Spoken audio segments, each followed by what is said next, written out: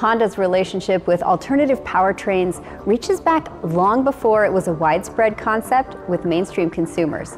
Let's take a look at Honda and their luxury arm Acura's state of electrification.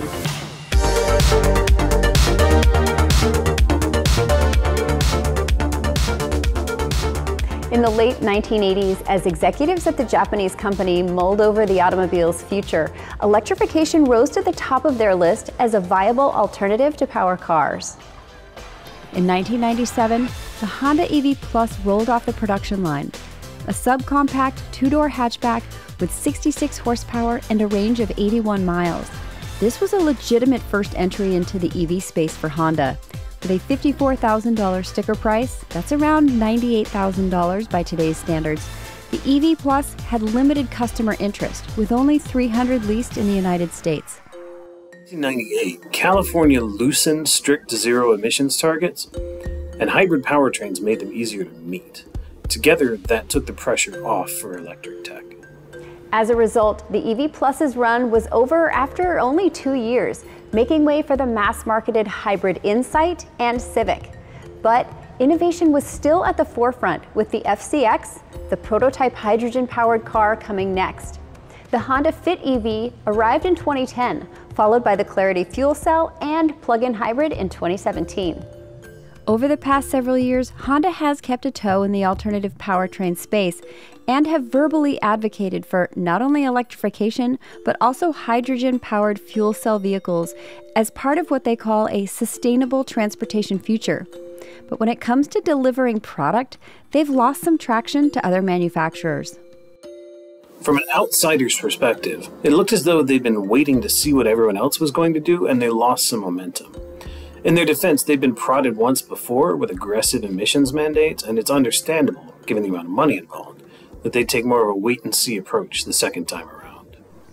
However, they're quickly catching up, recently announcing the company will dedicate 8 trillion yen, about $61 billion, to complete carbon neutrality, meaning offsetting any carbon emitting actions with equal carbon reducing actions by 2050.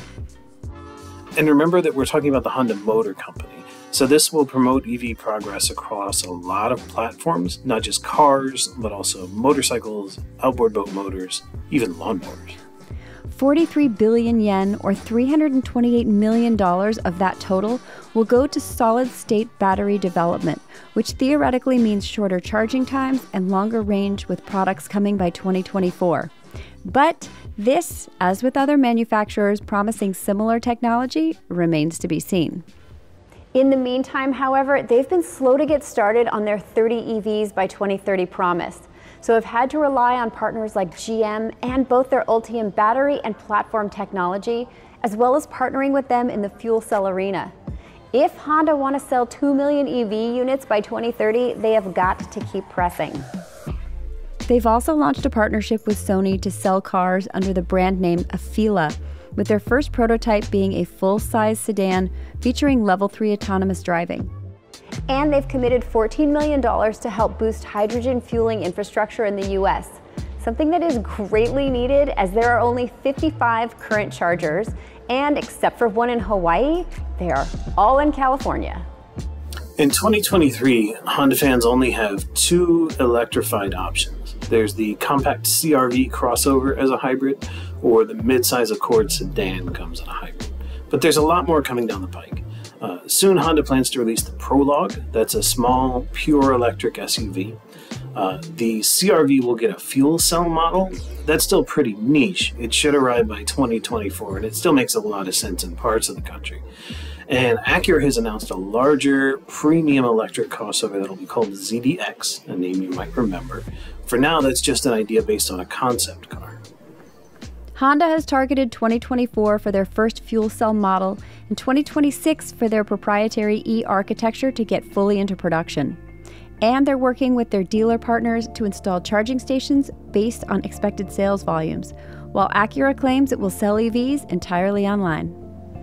With some substantial financial backing and an executive team looking like they're back atop the EV bandwagon, we'll see if Honda and Acura can once again claim status as electrification innovators.